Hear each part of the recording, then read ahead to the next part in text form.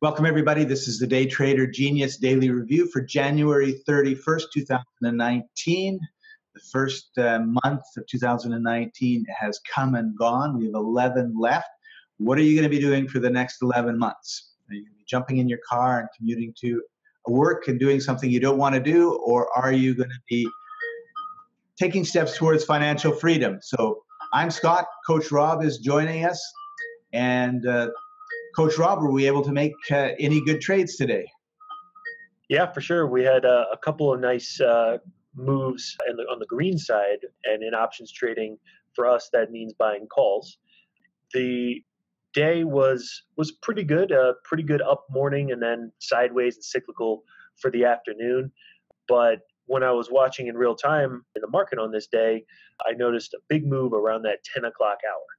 So let's take it all the way back to the beginning of the day as if we were starting the day and go to, let me share my screen.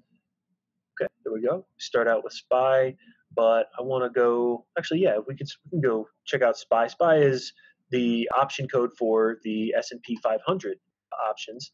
And it had a sideways, it's a, we use it as an index in our options because not only is it a very tradable and liquid uh, option with very nice low spreads on the option side, but it's also a powerful indicator of what the whole market's doing. Basically, you take the 500 best stocks out there and see what traders are doing intraday on on those 500, and what you come up with is is kind of a picture of the, the entire market. So it's it's one indicator.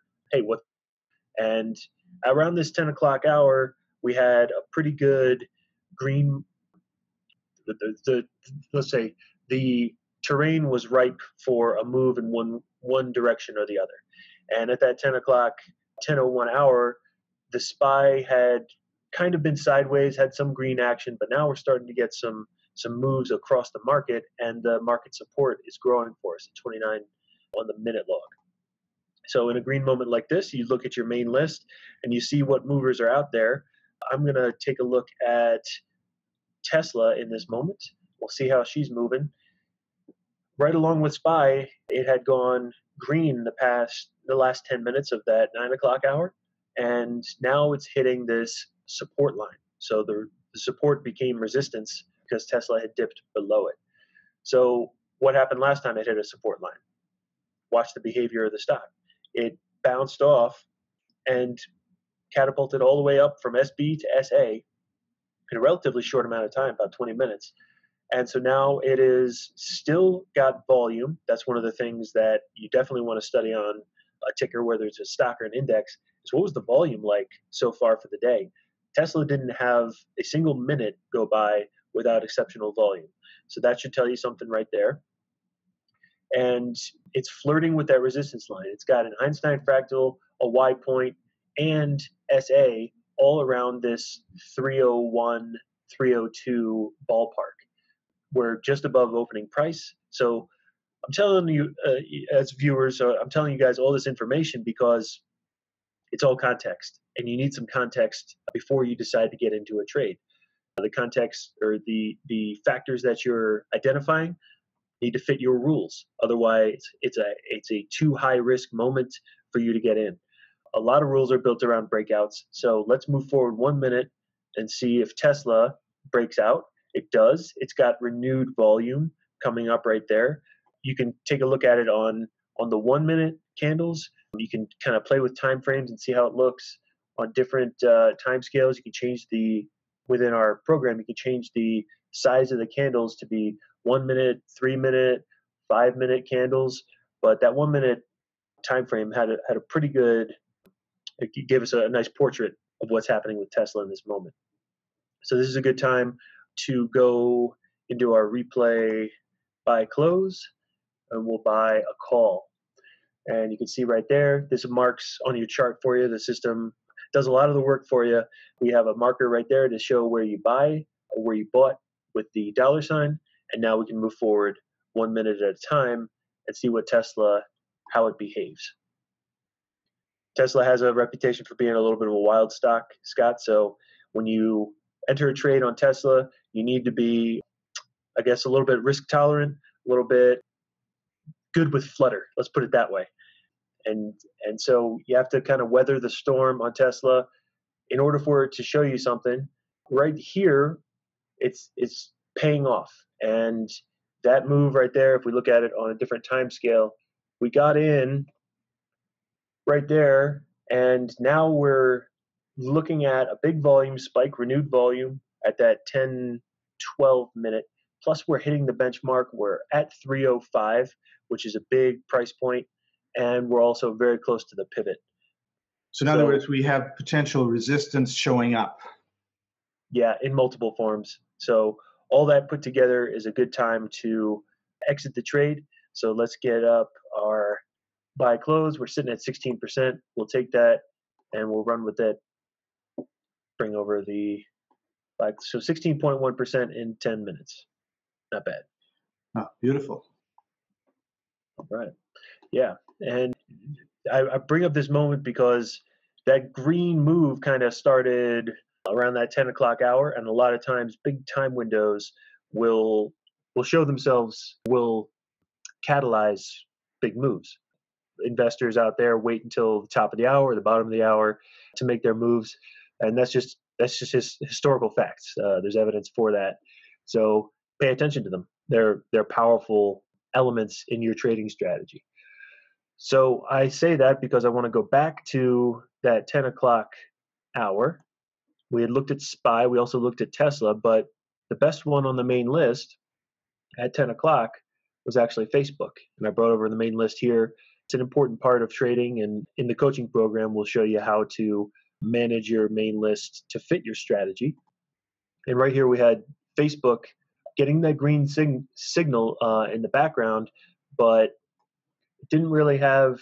It's not that impressive. It's not at the high for the day. CLV is only 66, but we're one move forward one minute, and we're starting to get K band back on. We're getting higher highs now instead of this chop and indecision that was happening from the 1045 kind of time frame onward. Now we're getting a breakout, and I think you want one more minute to confirm, see what does around that 168 time frame, and that's a good one. That's a that's a nice breakout, nice strong candle. We're getting renewed volume, just like we did on Tesla. So here's a good opportunity to bring up a replay buy sell buy close and we're into the trade with a call. Here we go. We're getting okay. It's good. Good action in our favor, and we're getting a doji there with some resistance, but we just picked up really nice market support. So the minute logs at 65, main list and is, is looking pretty green overall. So good, good, nice green trend, and we're still getting higher highs. Just watch Facebook as it continues to give us higher highs. Now we're at almost at the high point for the day. Our CLV is 94. We still got some market support. So let's take a look and see if we're going to hit the, during these kind of mid-trade time frames. Coach's tip would be look look ahead. So what are some powerful resistance lines that we're going to hit? The next R or S resistance line, like RA or SA or pivot, is $1.15 away. So we still got some some room to run in that regard. 169 is not the biggest price point, but it's an even dollar. I'd say 170 is probably our our most likely turnaround point, and that just happens to coincide with the next resistance line as well. So this thing still has some good good um, room to run, and it's shown us consistent volume throughout the day. So this spike here started our trend. Let's see how far the trend goes. We're already breaking that 169 with real ease, I'd say. We're approaching a, a minor time window with 1015, so that's a possible stopping point. But like I said, I think 170 right there, you can see it. Now we're approaching it. 170 is a big price point for investors. It could be high frequency trading machines just waiting for the price to touch 170 and then they'll put in big sell orders. And same thing for the RF line is really high on on the resistance kind of tiers. So all that put together tells me it's probably a good time to get out. And we just hit that intermediate time window of 10, 15 a minute ago. So let's close. Let's let's enjoy our 37% on a Facebook trade and, and go about the rest of our day. That's amazing. That's great. And I totally agree. It's like the risk is grow. You can feel it growing. And uh, even if it jumps through it, well, we didn't know it was going to, right? Yeah. I mean, it, it's more about self preservation, capital preservation, and risk management through through what's most likely what's most likely to occur we like you just said in the moment we only had so much information yeah we had no idea that that next candle was going to be another breakout and that this already old trend that had burned up a lot of gas on the way was going to continue had, yeah still had more gas in the tank yeah we just had no way of knowing how far now now i'm curious like how far up did it go let's see there, there. Okay, good. So, so basically, there was basically two big candles, which was the end of the trend. Yeah.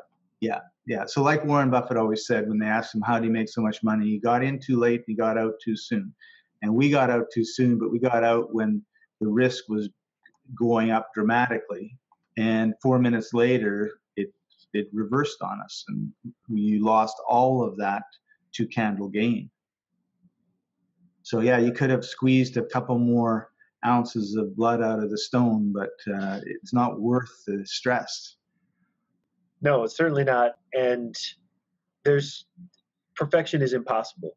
Just take what you can get in a repeatable manner and consistently, and yeah. don't try to to nail the perfect tops or bottoms of these trends. Like the bottom, That's a great way of putting it, Rob.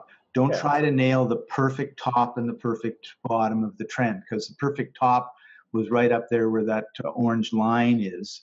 And that's, you know, not not reasonable. I mean, obviously somebody hit it, right? you know, somebody did, but that's not what our goal is. Our goal is to pull out, you know, skim the cream off the top of the bottle of milk or to minimize our risk and and I'm not going to say maximize our profits, but to to make a good, reasonable profit. And 36.6 is nothing to sneeze at. Right. Absolutely not. That that can that can make your year, certainly your month trading. But uh, just just to that point, the lowest it got was during that first minute of the day. It got down to the 165 price point. So the perfect trade in the context of what we've seen so far from Facebook would be to buy a call at once when it, the price is at 165 and sell it when it's at 171.60 or whatever that is. That is pretty unreasonable because you can't see that right. Um, that would be the perfect trade. And if some lucky guy or girl out there hit it, well, more power to you. But I don't think you can repeat that strategy. This here, from here to where we entered, that 165 to 168, that's the bread and there's also some bread up here. But consider it like nasty, stale bread that you don't know if it's moldy or going to make you sick. This is what you want. You want the meat right in the middle, that healthy roast beef. Uh, that is right. That is more delectable than than that kind of eh, risky bread. That's right.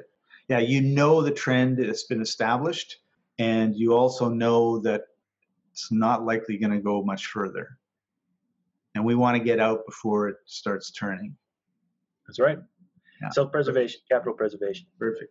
So Tesla 16.1 in 10 minutes, Facebook 36.6 in 14 minutes.